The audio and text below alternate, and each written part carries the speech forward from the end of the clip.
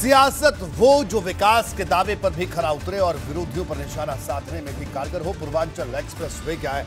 आगाज़ ने भाजपा को ये दोनों मौके दे दिए हैं। प्रधानमंत्री मोदी ने जब सुल्तानपुर के मंच से यूपी के विकास का रोड मैप बताना शुरू किया तो पिछली सरकारों को घेरने से नहीं चूके। उन्होंने परिवारवाद का मुद्दा उठाया, लॉ एंड ऑर्डर की दुहाई दी और सिर्फ़ अपने वोट बैंक की परवाह करने वालों को भी आईना दिखाया। हालाँकि प्रधानमंत्री के सियासी वार पर समाजवादी पार्टी ने पलटवार करने में देर नहीं की देखिए ये पूरी रिपोर्ट। का अनावरण। देवियों सज्जनों आप देख सकते हैं मिराज 2002 30 और जैगवर एक्रा ज़रूरी सुविधाओं के अभाव में यहाँ लगे अनेक कारखानों में ताले लग गए। एक बार फिर वही अंदाज, एक बार फिर वही जोश, एक बार फिर वैसे ही चुभते जुबानी हमले। पीएम मोदी यूपी चुनाव को लेकर पूरी तरह से एक्टिव मोड में आ गए हैं और सुल्तानपुर से उन्होंने इसका ट्रेलर भी दिखा दिया। मौका तो पूर्वांचल एक्सप्रेसवे के उद्घाटन का था, लेकिन पीएम के निशाने पर ज़्यादातर समय विपक्षी पार्टियाँ ही रही। कौन भूल सकता है कि पहले यूपी में कितनी बिजली कटौती होती थी? याद है ना? कितनी बिजली कटौती होती थी?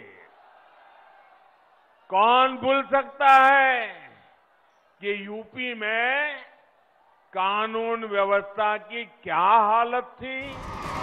चुनाव नज़दीक हैं और विपक्षी दलों पर भाजपा के बड़े नेताओं के हमलों की शुरुआत हो चुकी है। पीएम मोदी के टारगेट पर सीधे सीधे अखिलेश यादव ही नज़र आए। साथियों, डबल इंजन की सरकार के जब ऐसे डबल लाभ मिलते हैं तो उन लोगों का मैं देख रहा हूँ आपा खो रहे हैं। क्या क्या बोले जा रहे हैं। उनका विचलित होना बहुत स्वाभाविक है। इस कार्यक्रम में सीएम योगी ने सिर्फ़ 11 मिनट का भाषण दिया। उनका पूरा ज़ोर विकास को लेकर दिखा। लेकिन इशारों इशारों में वो भी पिछली सरकारों पर हमला करने से नहीं चूके।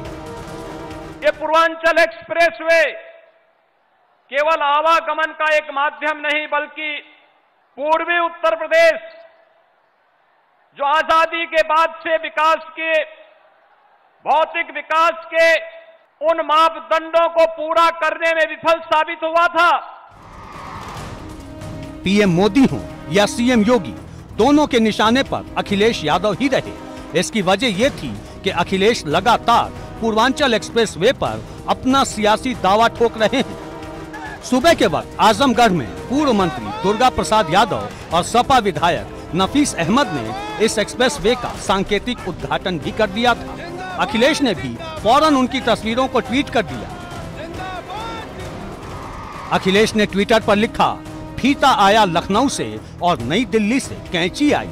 सपा के काम का श्रेय लेने को मची है, खींचम खिंचाई। आशा है अब तक अकेले में बैठकर लखनऊ वालों ने समाजवादी पूर्वांचल एक्सप्रेसवे की लंबाई का आंकड़ा रट लिया होगा। सपा बहुरंगी पुष्प वर्षा से इसका उद्घाटन करके एक रंगी सोच वालों को जवाब देगी। एक तरफ़ अखिलेश हमलावर हैं तो दूसरी तरफ़ उनके नए नए सहयोगी बने ओम प्रकाश राजभर ने भी हमले तेज कर दिए हैं। कि भारतीय जनता पार्टी नकलची पार्टी है। इसके पहले फाइटर विमान आगरा एक्सप्रेसवे पर अखिलेश जी उतार चुके हैं, वो उद्घाटन कर चुके हैं, एक्सप्रेसवे बनवा करके। पूर्वांचल एक्सप्रेसवे की नींव अखिलेश जी ने ही रखा। उनका ही ये प्लान था कि पूर्वांचल को जोड़ा जाए इससे। दुर्भाग्य से सरकार चली गई। तो अब ये सरकार वही नकल मार करके कर रही है। पूर्वांचल एक्सप्रेसवे पर लंबे समय से सियासी युद्ध चल रहा है। अब इस एक्सप्रेसवे का उद्घाटन हो चुका है। इस मुद्दे पर युद्ध का समय खत्म है और अब पूर्वांचल की जनता को तय करना है कि उनके लिए विकास का द्वार किसने खोला है। एबीपी गंगा के लिए ब्यूरो रिपोर्ट।